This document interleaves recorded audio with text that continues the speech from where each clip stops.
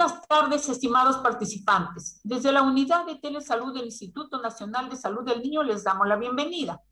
El día de hoy les presentamos un tema de interés para todo el equipo de salud, especialmente para el personal de enfermería.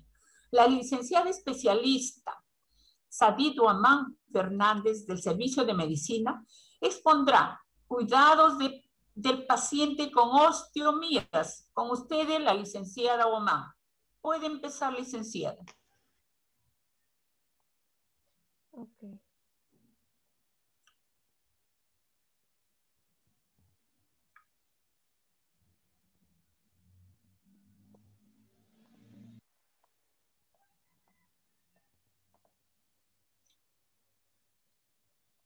Ok, ¿se puede ver mi pantalla?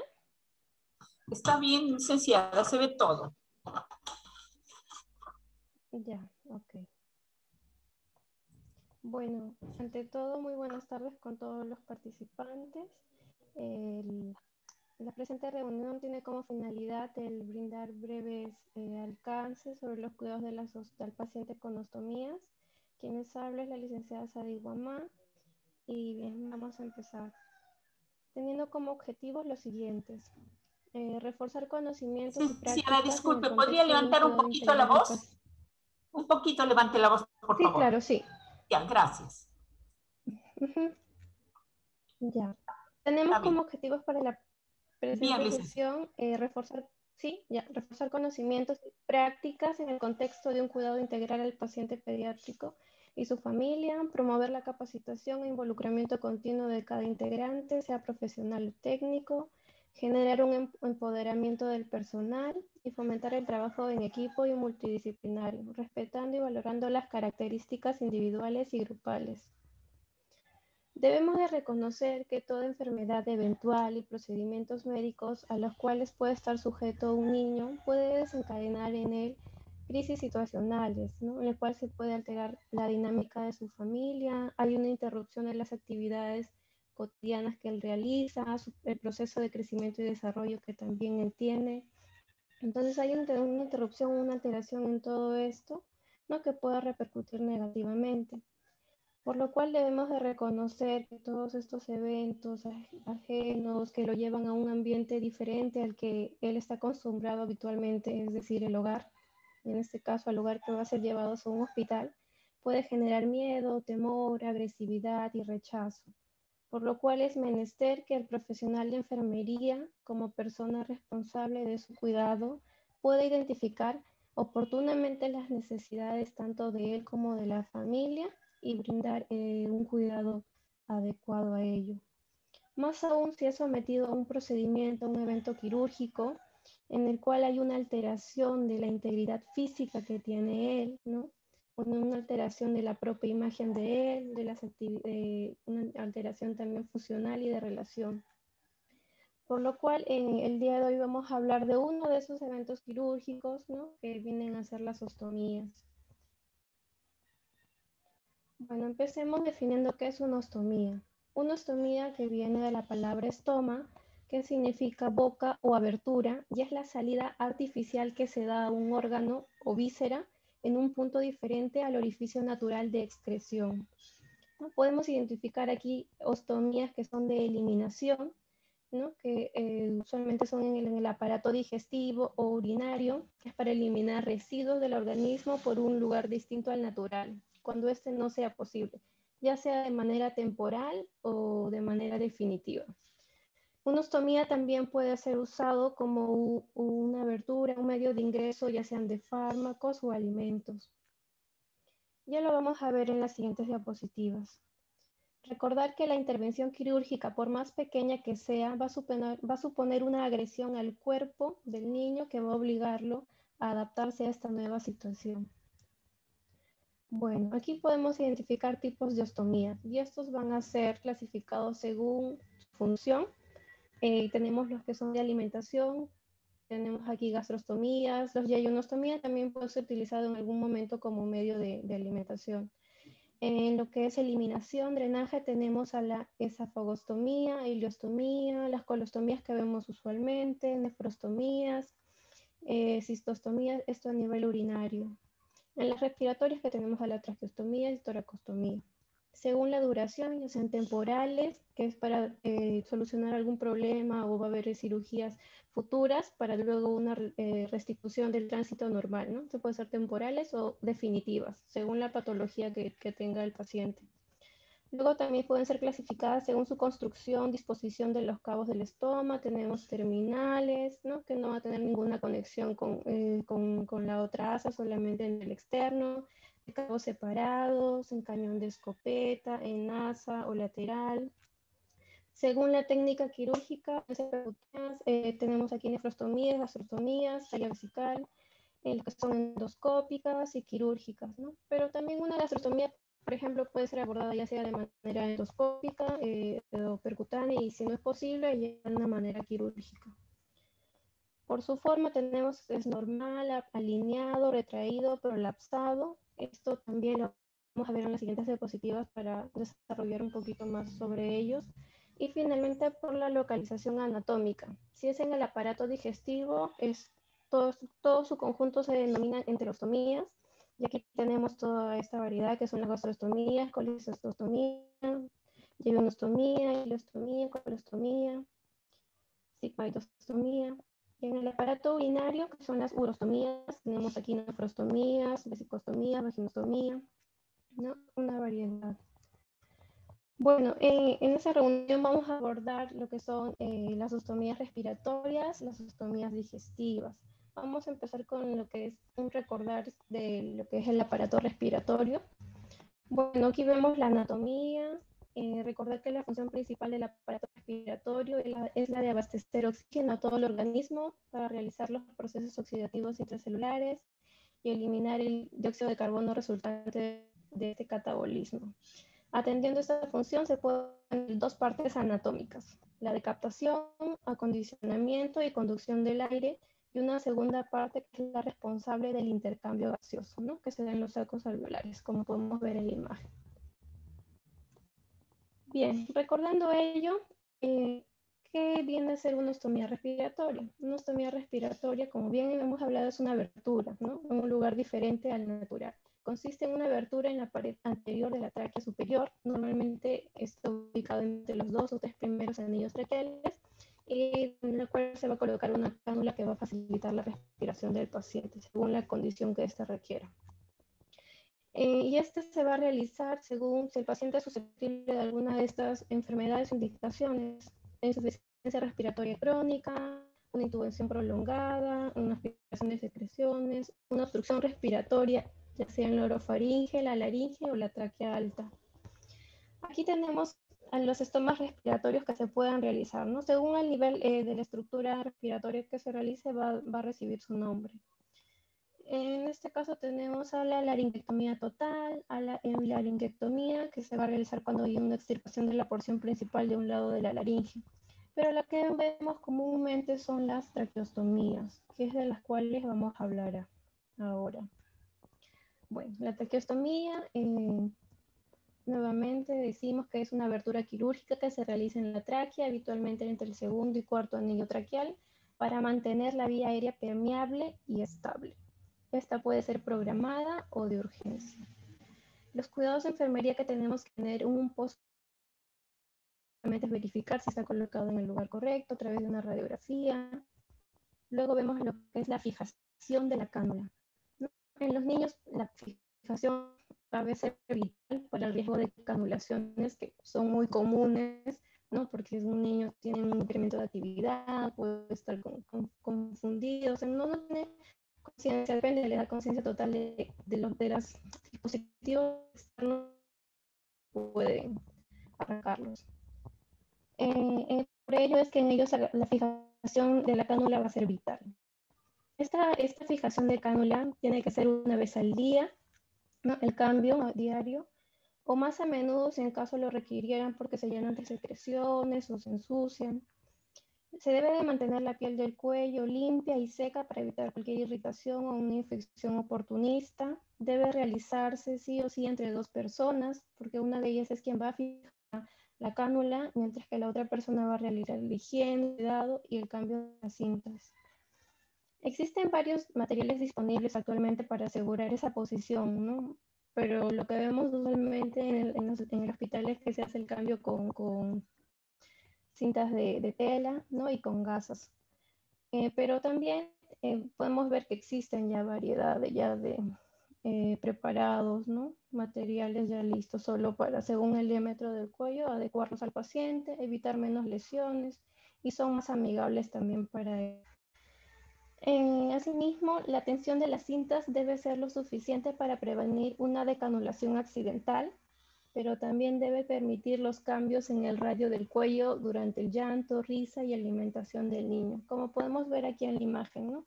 Debemos de poder tener la facilidad de ingresar un dedo en la parte posterior del cuello cuando es está en flexión. La tensión correcta es cuando, bueno, como vemos en la imagen, ¿no? Los elementos conectados a la cánula de traqueostomía, por ejemplo, si un paciente está conectado a un ventilador mecánico, debemos verificar cómo están los corrugados, las, extensiones que se conectan, para evitar que estos tiren eh, y que puedan eh, facilitar también la decanulación. En la manipulación de la traqueostomía, si estamos en un ambiente hospitalario, deben de realizarse con una técnica estéril, el lavado de manos quirúrgico, guantes estériles, sin embargo, si está en casa, no es un paciente que se va a externalizar, o está en proceso de educación, en casa basta que sea una técnica limpia, un minucioso lavado de manos eh, y con agua y jabón y luego el, el cuidado que se debe tener. Sobre los cuidados del estoma y la piel circundante y del cuello.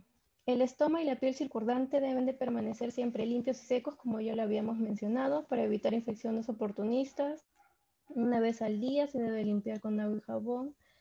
Eh, bueno, de preferencia el jabón que tenga que ser neutro para evitar que se irrite la piel o que tenga algún contenido de alcohol porque también puede este, secar y irritar la piel. Las secreciones secas y pegadas se deben de retirar con bastoncillos de algodón estériles humedecidos, eh, humedecidos ya sea con agua oxigenada o solo con suero fisiológico evitando siempre manipular el estómago. Lo que se debe hacer la higiene es toda la piel circundante, es decir, la piel periestomal. Debemos de cubrir y luego aclarar con un poco de agua y secar minuciosamente con toques, evitando la fricción para evitar cualquier tipo de, lesión. Cubrimos la zona con apósitos, ¿no? Comúnmente lo que hacemos es poner gasas, ¿no? Bajo la cinta para evitar que este pueda tirar, raspar o jalar directamente la piel del paciente. Mm, o si no colocar, bueno, ya que ya existen estas eh, gasas precortadas. Luego, no utilizar cremas o pomadas rutinariamente, como les mencioné, solo en caso requieran, si hay algún tipo de lesión ¿no? en la piel, se utiliza y si no, no. Vigilar, esto debe ir acompañado de una vigilancia de los signos de infección, los cuales son edema, eritema, dolor y supuración. Si en caso estén presentes, bueno, facilitar la comunicación al equipo de salud y los exámenes auxiliares que requiera, e incrementar el, número de curaciones que, se realice, validar, eh, valorar si se debe aplicar algún tratamiento tópico específico, ya sea un antibiótico o antifúngico, según lo que requiera. Respecto al baño, vestido y juego, bueno, el baño, durante el baño y el aseo del paciente siempre debemos de cuidar que no ingrese agua, ningún material externo dentro del estómago. En el vestido, utilizar ropas, de preferencia chaquetas, ¿no? Con botones abiertos para que dé una facilidad del vestido y confort del paciente, ¿no? evitando un riesgo que haya un, un falso movimiento de canulación en el proceso. El juego también debe ser medido, eh, siempre supervisado en el caso de los niños que muchas veces no miden los riesgos. Para mencionar dentro de las complicaciones que tenemos de la traqueostomía, tenemos precoces y tardías. Dentro de las precoces, que son recientes a la colocación de esta, de esta ostomía, tenemos hemorragia, las decanulaciones, enfisemas, lesiones del nervio laringio recurrente. Dentro de las tardías tenemos lo que son granulomas, Cabe aquí recordar que es un granuloma. Un granuloma es una unión mucocutánea del borde del estómago y la piel adyacente. ¿no? Eh, tienen una apariencia de coliflores, de color roja y al tacto pueden estar muy sensibles y sangrar.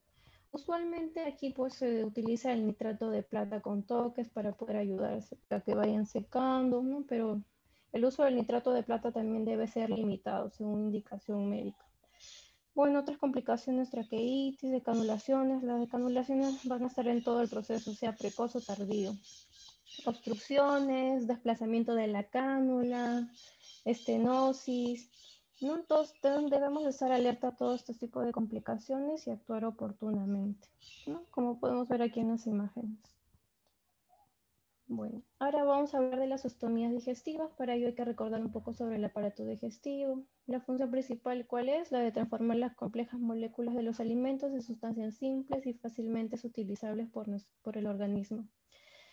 Estos compuestos nutritivos simples son absorbidos por las vellosidades intestinales que tapizan el intestino delgado, pasan a la sangre y nutren a él. Y ya cuando los desechos pasan pues, al intestino grueso. Mencionamos intestino delgado, intestino grueso, porque usualmente es a este nivel a los que se colocan las ostomías digestivas.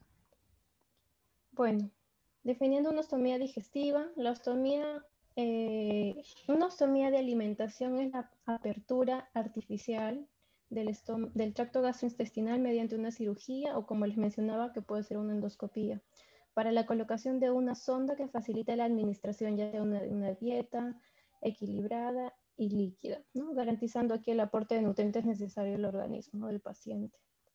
En cirugía pediátrica también es frecuente la realización de estomas en el intestino delgado, donde tenemos aquí las yeyunostomías y las ileostomías. La mayoría de veces sirven para eliminar heces cuando el tramo intestinal distal no funciona correctamente. Recordando aquí que todo este, a través de estos, estas ostomías de intestino delgado, intestino, este, ya sea del intestino grueso, son ostomías de eliminación, ¿no? en las cuales tenemos que recordar que las heces son efluentes químicos o los eh, residuos que se eliminan por aquí también están combinados con enzimas digestivas que pueden ser irritantes para la piel del paciente. Bueno, las enfermedades susceptibles de que se coloque una ostomía digestiva tenemos a las malformaciones congénitas y patologías adquiridas. ¿no? Esto es en la población pediátrica básicamente. Aquí tenemos ya, por mencionar las malformaciones congénitas, una atresia esofágica, atresia duodenal, una atresia yeyunal, atresia colónica, atresia anal, un ano imperforado, malformaciones anorrectales. Y en las patologías adquiridas, que sí, básicamente son eventuales, Algún, este, alguna enfermedad que se haya comprometido, complicado. Tenemos a la enterocolitis necrotizante, la enfermedad inflamatoria intestinal, la enfermedad de Crohn, colitis ulcerosa, y bueno, ya cuando hablamos complicaciones oncológicas, eso también se puede considerar esto un paciente adulto. Mm, bien. Bueno, aquí tenemos la gastrostomía. Como les decía, la gastrostomía es una ostomía de eh, ingreso de alimentación. Mm, bueno, es la apertura creada quirúrgicamente que va a comunicar al estómago con el exterior. ¿no? Usualmente eh, cuando inicia un paciente que requiere una gastrostomía se tiene que colocar una zona de gastrostomía inicial. Bueno, aquí no creo que no, tengo una foto, pero es un sistema que eh, lo que va a generar es, el objetivo es crear una fístula y el estómago, Este es un dispositivo que va, eh, que va a facilitar que tiene que se va a eh, colocar de manera interna y firme dentro a través de un disco o Z, que también se llama, ¿no? Dentro del abdomen del paciente, eh, que va, eh, Y, de manera, y de manera externa lo que se va a ver es como una extensión, no es esta, pero se va a ver de una manera como una extensión, ¿ya? A través de la cual se va pues brindar el alimento a recibir el paciente o, o los medicamentos que requiere administración. No, esos son algunos ejemplos. Es un botón y botón para poder dar la alimentación. Pero previo y otra sonda de gastrostomía inicial que no, no tengo una foto aquí, pero eso es la que se coloca inicialmente. Bueno, ¿cuáles son los cuidados? Eh, los cuidados de la piel del estómago. ¿Cómo hay que realizar la limpieza? Eh, siempre teniendo todos los materiales al alcance de las manos preparados para evitar cualquier intercurrencia. Eh, los materiales son las gasas, agua, jabón, bueno, de preferencia neutro. Si el niño tiene, nos puede comprender, según la edad que tiene, explicarle el procedimiento que se va a realizar y está en compañía de los padres de igual manera. No siempre debemos de, tener a los padres como un recurso, un apoyo hacia nosotros, ¿no? Porque cuando no estamos nosotros, quien los cuida los ve son ellos. La persona que va a realizar la cura debe lavarse previamente las manos con agua corriente, jabón, eh, mojar la gasa con agua y jabón suave, lavar alrededor del tubo y por debajo del disco externo de silicona. Bueno, aquí vemos la foto, ¿no? Debe humedecerlo, pues con agua y jabón y eh, limpiar todo el contorno periostomal, evitando la fuerza y la fricción. Luego aclarar con agua, ¿no? Con toques.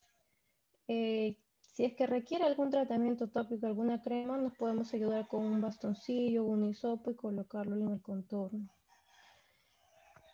si, la, si el botón o la sonda de, de, gastrostomía está tirante o muy suelta, ¿no? Y no, no, hay una buena fijación con la piel del paciente, se puede ayudar y colocar gasas de esta manera, solo si se requiera, y si no, se debe de dejar libre.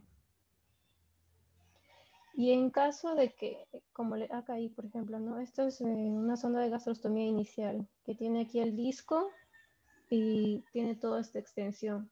Si tiene toda esta extensión, lo que tenemos que hacer es fijarla aquí al lado, ¿no? Entonces, eh, ayudándonos con el ángulo, la forma que tenga la misma sonda, con un esparadrapo hipoalergénico, fijarla para evitar que se esté tirando y generar un trauma, una lesión mecánica en el contorno.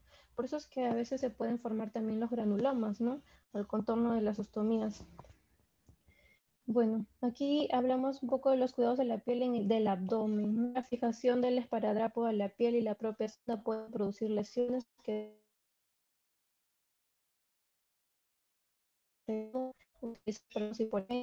ir rotándola, ¿no? Además que también se debe de ir girando en caso, si tenemos este botón, este botón, ir girándolo también, ¿ya? Para que no se pegue al abdomen. Eh, modificar la dirección de sonda cada vez que cambie los esparadrapos, puede utilizarse protectores cutáneos, ¿no? especialmente en, en, el bebé y en niños pequeños. Eh, realizar una buena higiene y hidratación y evitar las tracciones, como le decía, a través de la fijación mm, adecuada de la, de la sonda. Mm, en caso de que haya alguna lesión o herida en la piel, debe ser protegida mediante apósitos hidrocoloides que facilitan la curación de esta piel. Luego, ¿cómo debe proteger la zona o el botón de gastrostomía? Bueno, aquí eh, estos dispositivos se deben de proteger de posibles estiramientos accidentales, ven a través de vigilarlos. Eh, eh, lo que podemos hacer aquí es facilitar el vestido, una ropa que sea con broches o larga, impidiendo que el niño pueda tirar o jalar de este dispositivo.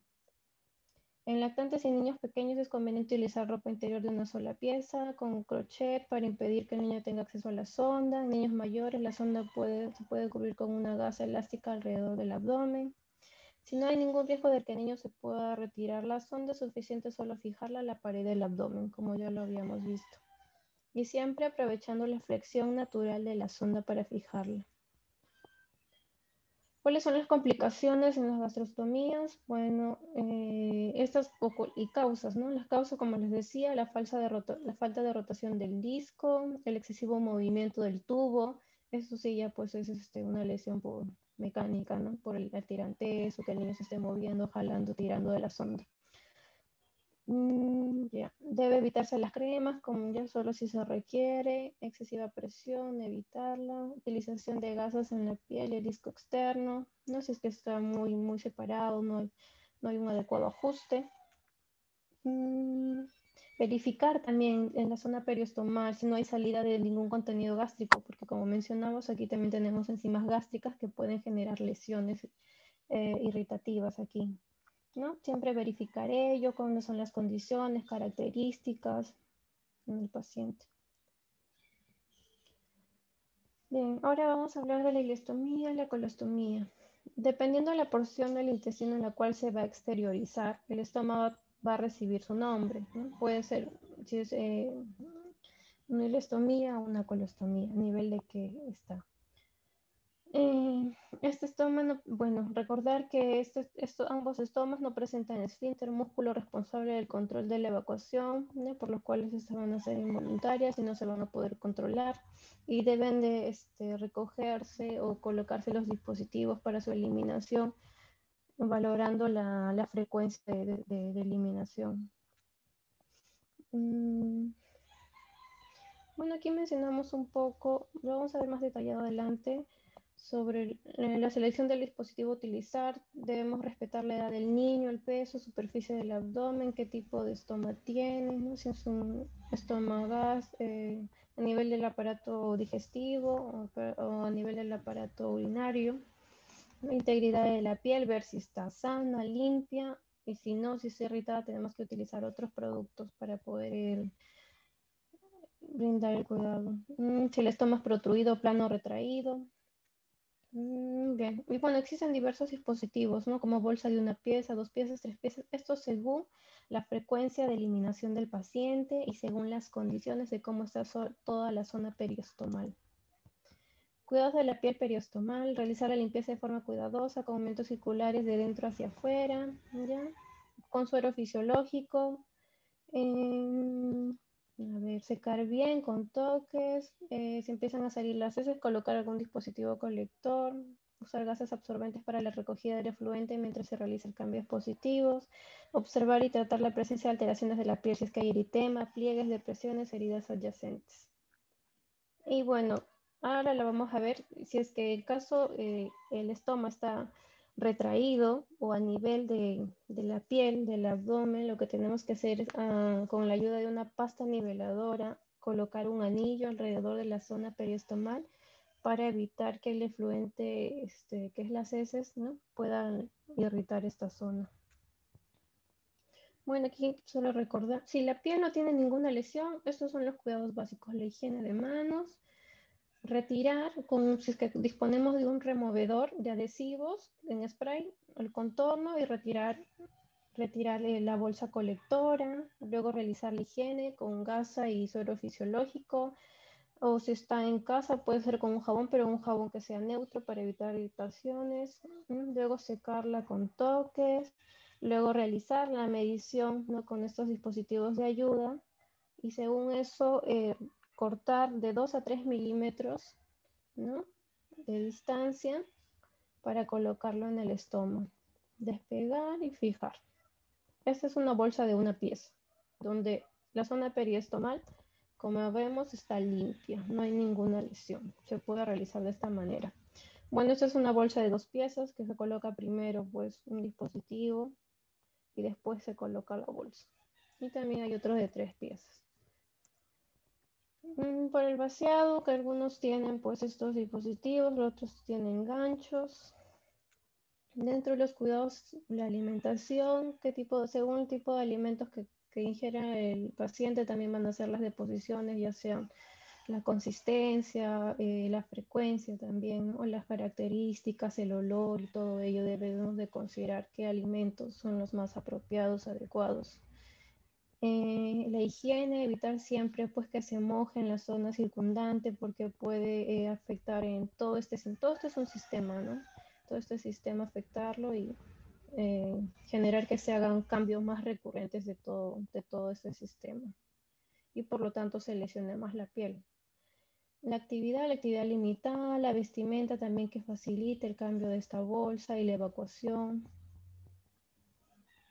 bueno, aquí por mencionar algunos alimentos, qué efectos tienen en, los residuos, las complicaciones que tenemos precoces, la retracción, dermatitis, evisceraciones, infecciones.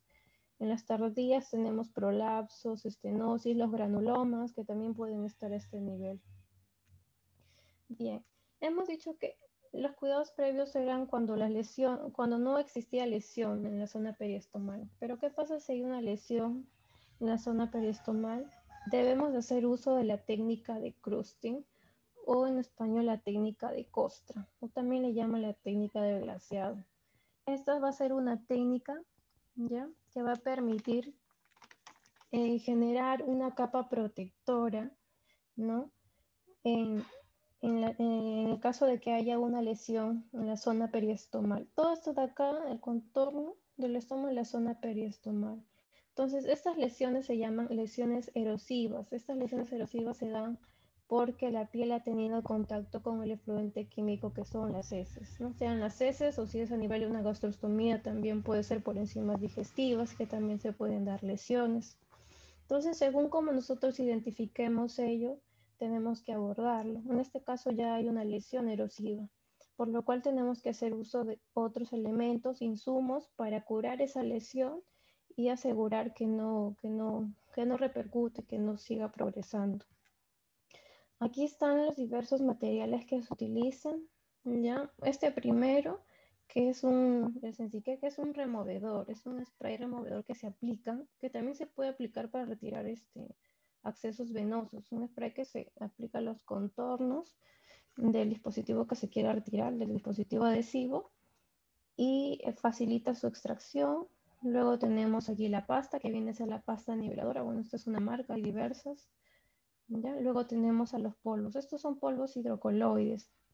Este en especial, el estomagecip, que tiene eh, tres hidrocoloides que va a facilitar pues la recuperación e integridad de la piel.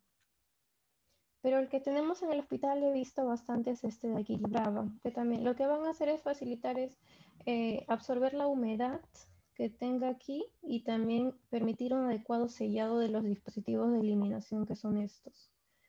Luego, como cuarto eh, material, tenemos aquí, eh, bueno, aquí tenemos el cábilo o, este protector cutáneo de esta marca también que podemos usar.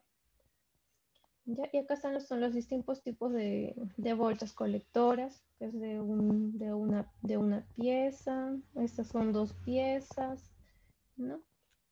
Bien. Bueno, aquí están los pasos. Primero, como siempre, tener todos los materiales a disposición, ¿no? En este caso la higiene la vamos a hacer con gas y suero fisiológico. Luego tenemos al, spray que nos va a permitir retirar los adhesivos, todos los materiales que necesitamos. Como primer paso que tenemos que hacer, bueno, el paciente tiene conciencia, comentarle, explicarle qué le vamos a hacer, si está acompañada de la madre de igual manera, y así también educamos a la madre. Ya, lo primero, realizar el spray para retirar el adhesivo, en este caso, ¿no? el adhesivo y pegamento de, la anterior eh, bolsa colectora.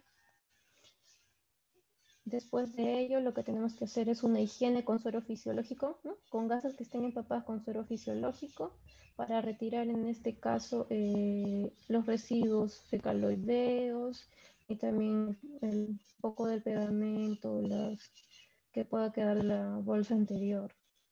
Después de ello, lo que se va a hacer solo con toques, con apoyo de la gasa, limpiar todos esos residuos, dejar limpio y secar con toques. Eh, después de ello, lo que tenemos que hacer es aplicar el polvo hidrocoloide. En este caso, el que está utilizando es este de aquí.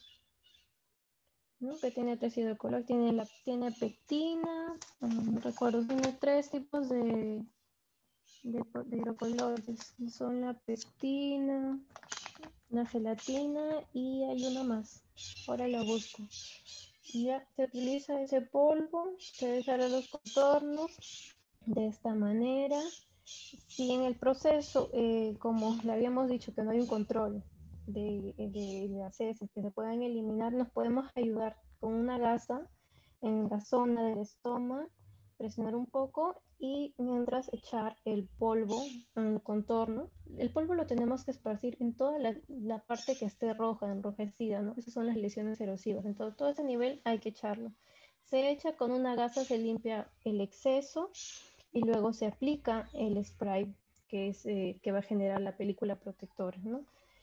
Tanto el polvo como este spray de protección lo que va a generar es la costra, la costra que va a generar como una barrera protectora. Este paso hay que repetirlo tres veces. Entonces, primero polvo, luego spray, polvo, se limpia un poco el exceso, el spray y una vez más polvo y spray. Entonces, a través de eso ya se va a generar una costra.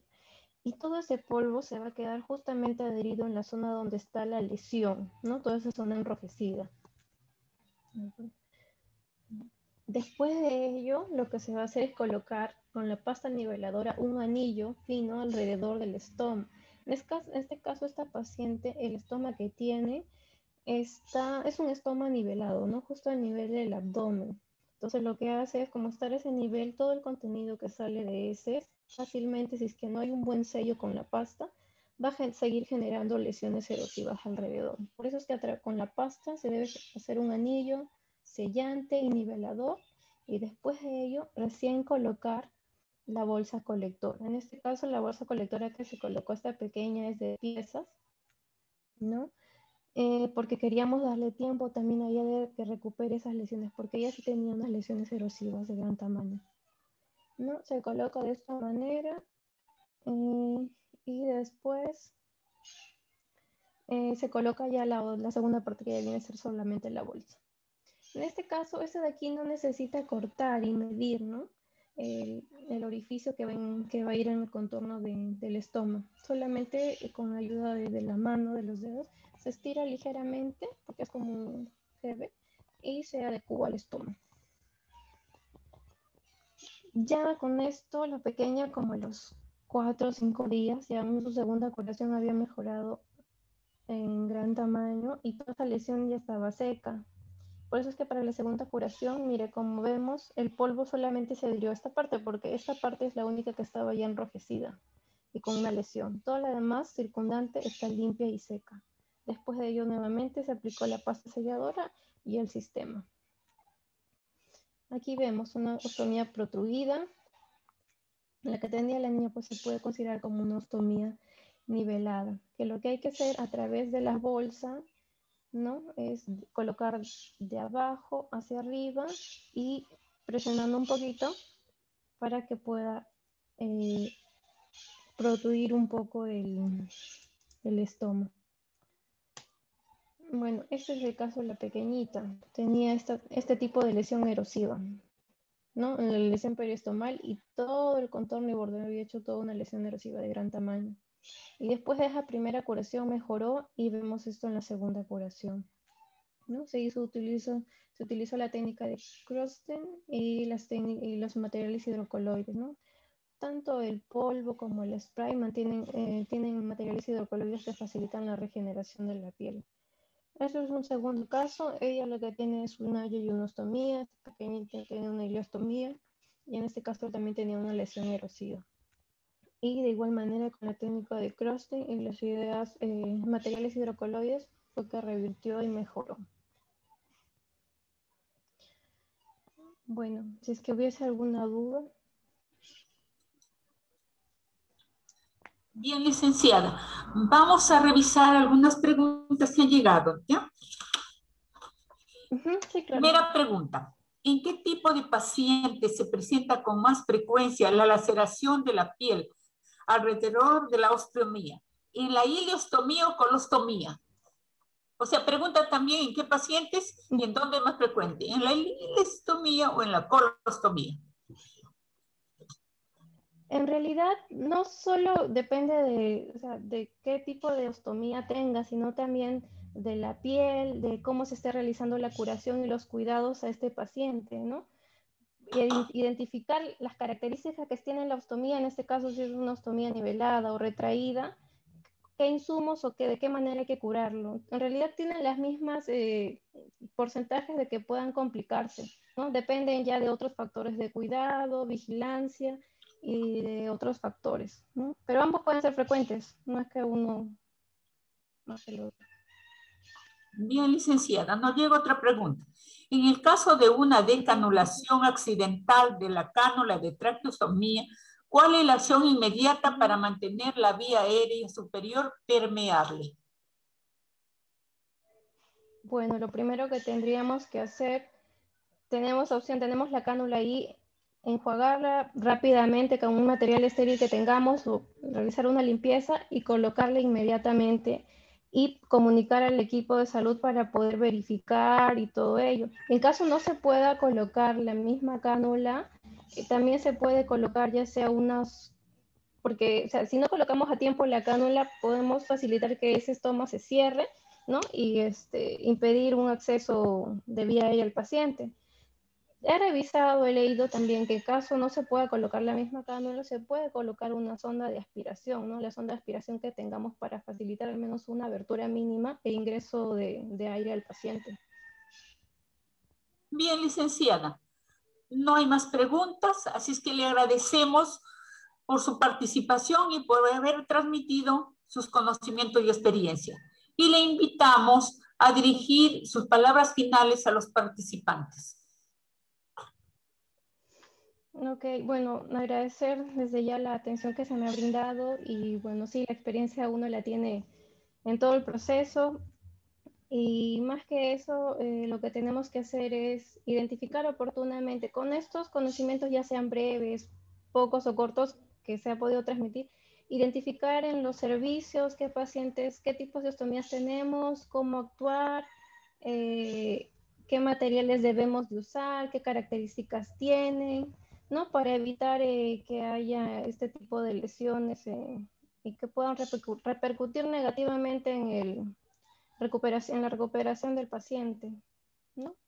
Que eso, que pueda facilitarles, darles una herramienta de apoyo en el quehacer diario para contribuir al bienestar del paciente. Bien, licenciada, gracias. Agradecemos también a todos los participantes y les comunicamos que pueden seguir estos temas de interés a través de la página web, canal de YouTube de Telesalud del Instituto Nacional de Salud del Niño. Muy buenas tardes a todos y gracias nuevamente.